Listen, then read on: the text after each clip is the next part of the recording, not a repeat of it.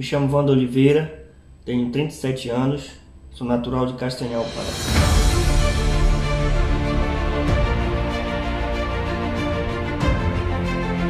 Sou soldado na Legião Estrangeira, tenho a função de cabo-chefe, uma função que não existe no Brasil, no Exército Brasileiro ou nas Forças Armadas Brasileiras. Uma função entre o sargento e o cabo. Sou militar na Legião Estrangeira Francesa há quase sete anos. Em 16 de junho de 2013, dia do meu aniversário, saí de Castanhal em direção à França, sem saber falar nada de francês, sem ter nenhuma experiência de viagem internacional, em busca de um sonho que era de ser militar na Legião Estrangeira Francesa. A Legião Estrangeira Francesa foi criada em 1831. A intenção de criar a Legião Estrangeira Francesa era não derramar sangue francês.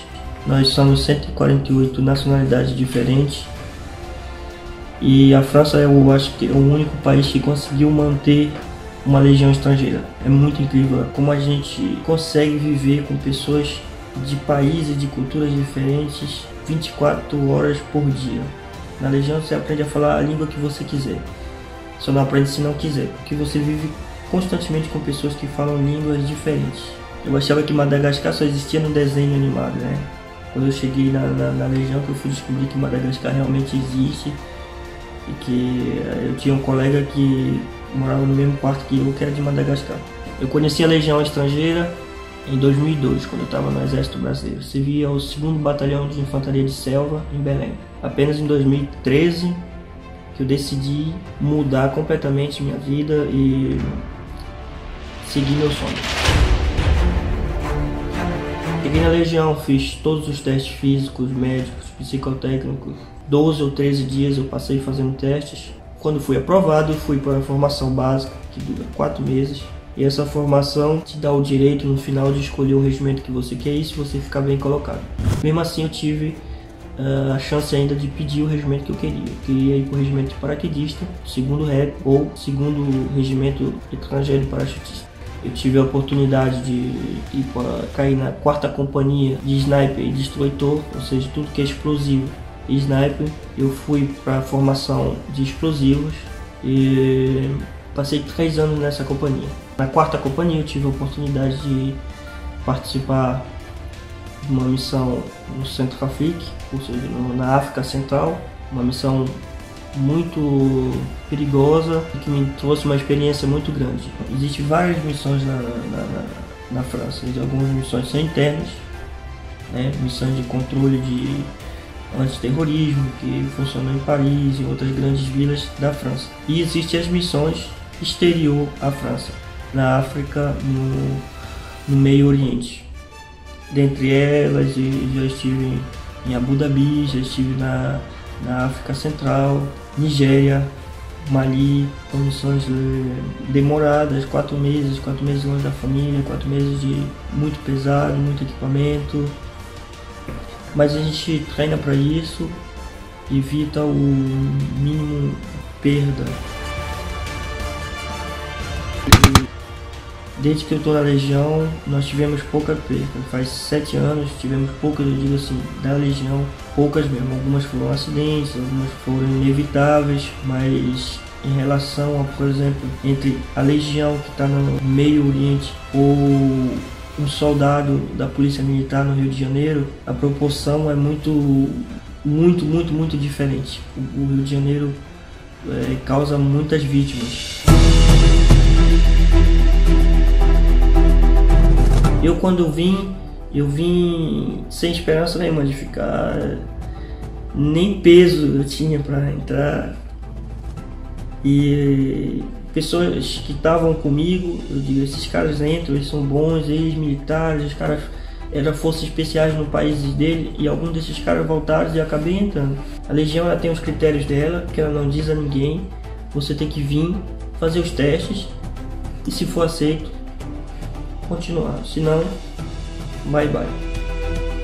A única coisa que coloca um pouco de barreira para a Legião, principalmente para quem já foi militar, é questão da língua, da cultura, outro país longe.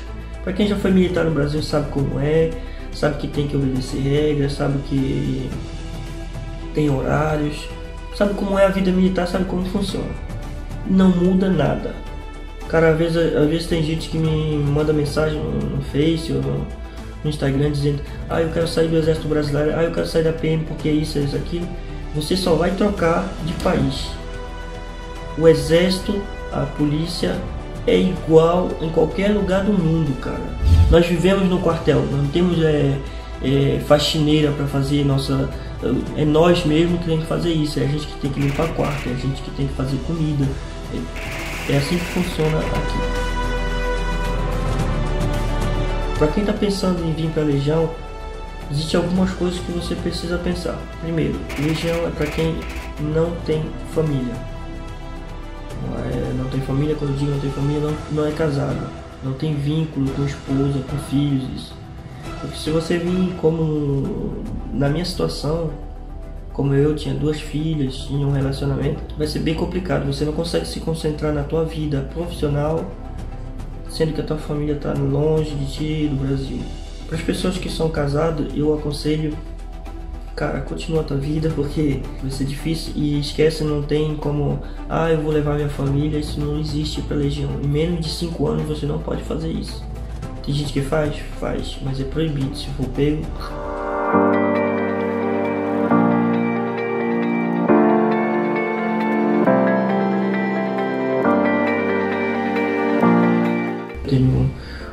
Família, tenho um filho que certamente vai falar português, que já esteve no Brasil. E eu sinto muita falta do, do Brasil, do, do Castanhal, das coisas que eu vivi, dos amigos Hoje me sinto profissionalmente realizado, né? Minha vida pessoal realizada. Meu filho, quando nasceu, eu estava no Mali em missão e a primeira vez que eu vi meu filho ele tinha quatro meses. Foi a primeira vez que eu vi meu filho.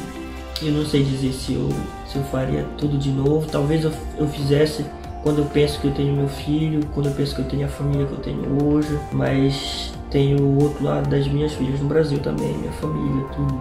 Não importa onde você esteja, o que importa mesmo é a sua vontade, é a, o seu sonho, é o querer, é o dizer eu vou e eu vou conquistar.